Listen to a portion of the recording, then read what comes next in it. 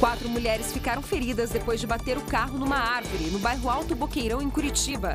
Segundo os bombeiros, a motorista perdeu o controle numa estrada de terra e rodou antes de bater.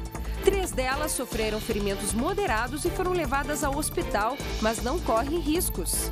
A quarta jovem sofreu apenas alguns arranhões e foi liberada.